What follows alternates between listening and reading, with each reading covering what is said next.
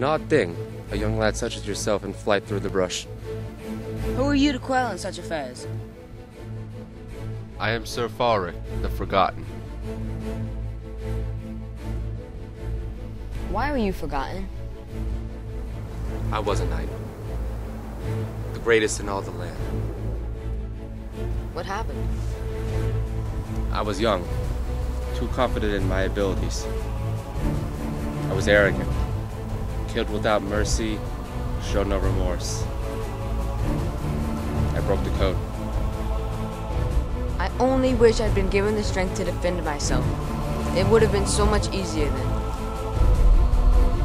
Oh, it won't be easy.